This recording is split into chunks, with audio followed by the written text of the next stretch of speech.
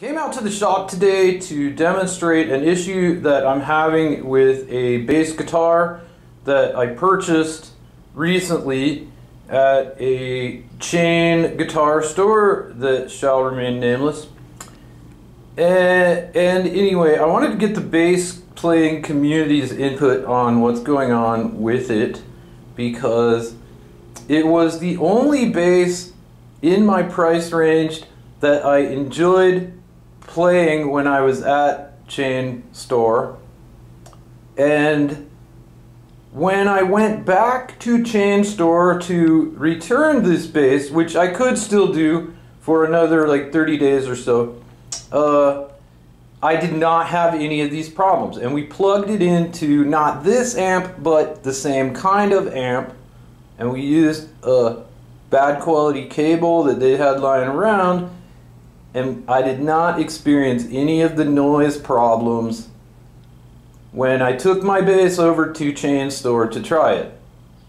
Nor did I experience any of those problems before I bought it. I wouldn't have bought it. Let's get to it. Here's my amp. It's like a Rumble 40 from Fender. And uh, when I turn the amp on, it does not really make any noise by itself. So I can turn it all the way up and it has a little bit of hiss.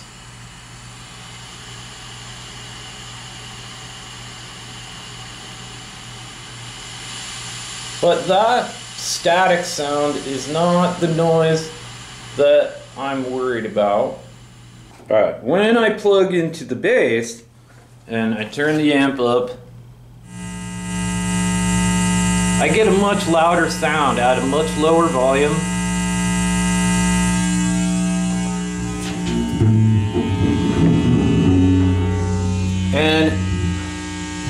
The sound changes a little bit as I move the bass around, but it does not change based on whether I'm touching the strings or not, or the, the bridge, or the cable.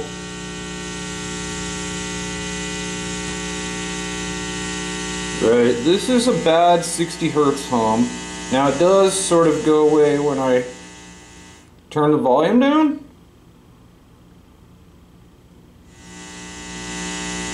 And it changes when I change the pickup mix. Alright, when I go to that pickup, it's not so bad. But when I start to mix in this one, I get more hum.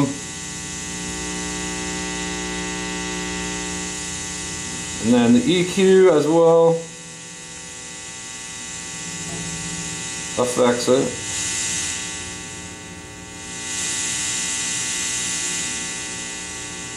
And that high frequency hiss, that's excessive over what the amp is producing by itself. So the guitar is producing both of those sounds. And now I tested all the grounding and everything between the strings, even all the way up to the uh, tuning keys. Everything is connected really well to all the pots and everything inside. Um, on the inside of the bass, there is a little bit of shielding uh, on the back plate.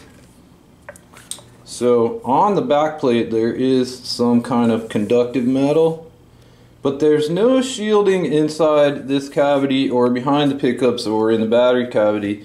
Um, by the way, I do have a new battery here, so I know that's not the issue. And yeah, I just I just really don't know what to do. I don't know if I should go to the effort of trying to shield this guitar, knowing that it really only produces this noise at my house and it doesn't do it when I'm at unnamed chain store. so yeah, I would really like some input on what folks think I should do about that because it's very frustrating to get this noise when I'm trying to record. Really looking for some advice here on what I should do.